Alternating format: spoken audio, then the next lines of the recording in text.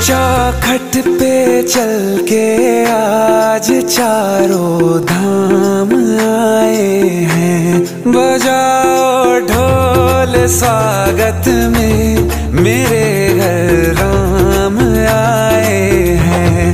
कथा शबरी की जैसे जुड़ गए